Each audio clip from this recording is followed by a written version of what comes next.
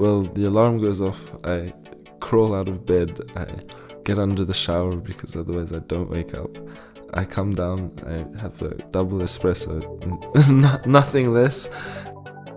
I came to visit Maastricht when I was 17 already on the suggestion of my then history teacher, and instantly I really liked the city. A good match from the beginning, which is why I've stayed here for a while. Well, so I work with two business partners. Switzerland, we make uh, headphones. As of this racing season, you can see our headphone in the Formula One, which is very cool. Well, there's big challenges still, but we're looking forward to them.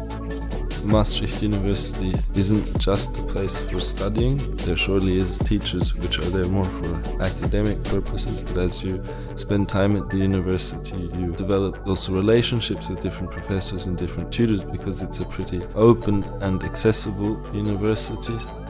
I think problem-based learning was uh, a big reason actually why I came here because for me it was always important that students would be in the center point to a certain extent.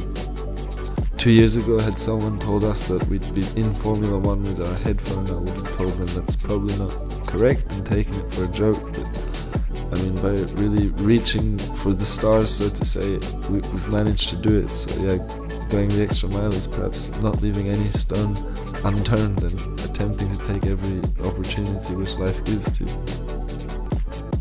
My name is Alec and I'm studying European law at the University of Maastricht.